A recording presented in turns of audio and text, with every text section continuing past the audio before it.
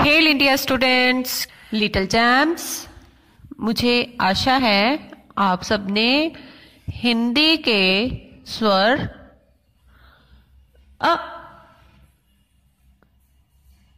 आ, ई, और ई को अपनी नोटबुक में लिखना सीख लिया है। और आज की इस वीडियो में हम ओ को अपनी नोटबुक में लिखना सीखेंगे। लेकिन लिखना सीखने से पहले हम ओ से शुरू होने वाले कुछ शब्दों को रिवाइज करेंगे। रेडी ओ से उल्लू ओ, से, उपवन,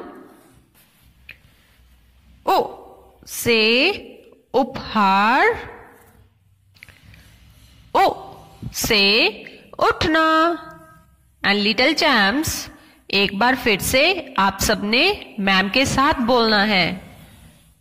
ओ, से, उल्लू, ओ, से, उपवन ओ से उपहार ओ से उठना। चलिए, अब हम ओ को अपनी नोटबुक में लिखना सीखते हैं। लिटिल जैम्स ओ को बनाने के लिए सबसे पहले हम अपर ब्लू लाइन के थोड़ा सा नीचे एक छोटा सा डॉट लगाएँगे।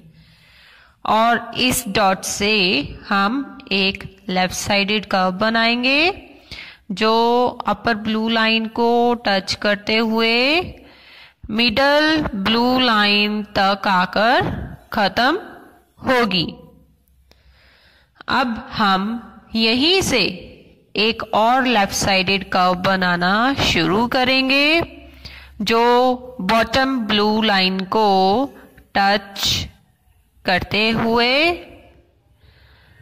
ऊपर की तरफ़ मिडल ब्लू लाइन तक आकर खत्म होगी।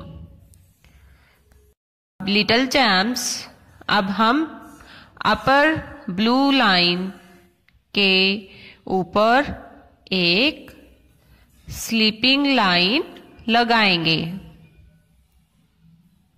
हमारा, ओ रेडी है। एक बार फिर से देखिए लिटिल चैम्स ओ, को बनाने के लिए सबसे पहले हम अपर ब्लू लाइन के थोड़ा सा नीचे एक छोटा सा डॉट लगाएँगे।